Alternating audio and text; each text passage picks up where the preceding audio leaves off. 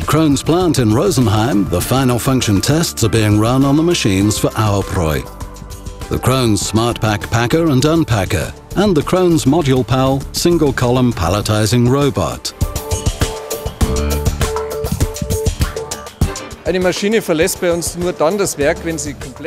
and has successfully passed all our internal quality checks. In the case of our Auerbräu's machine, for example, an internal audit is conducted prior to dispatch. Ein internes Audit durchgeführt. Sicherheitsrelevante Bestandteile der Maschine sind which covers safety relevant aspects as well, designed to ensure that later on no one can enter a danger zone and all the shutdown features are working properly. Dass alle Abschaltungen funktionieren, dass äh, die Warnungen erfolgen bei Störungen der Maschine und all das testen wir vor Auslieferung der Maschine. Als nächstes wird die Maschine In the next step, the machine is partially dismantled and the modules separated. We then transport these to Auerbräu. Once they're on site, the machines are reassembled, subjected to initial testing, and will soon be up and running.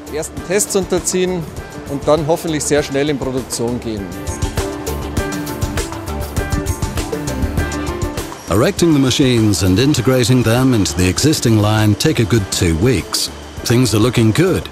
It seems the scheduled deadline for commissioning at Auerbräu is going to be met, but there's still quite a lot of tension. Die Verkabelung, die ist so in den letzten Zügen. The cabling has almost been completed. It's all very voluminous. We wanted to have a central switch room, and all the machines had to be connected up to it by appropriate cable routing.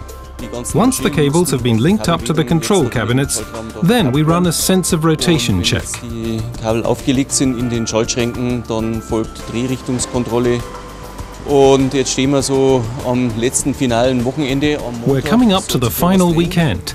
And on Monday, everything here is already supposed to be up and running. The tension's rising, all right, but we can already start to relax a bit because most of the work's been finished. Die man noch nicht so ganz auf dem Radar hatte, aber es schaut ganz gut aus.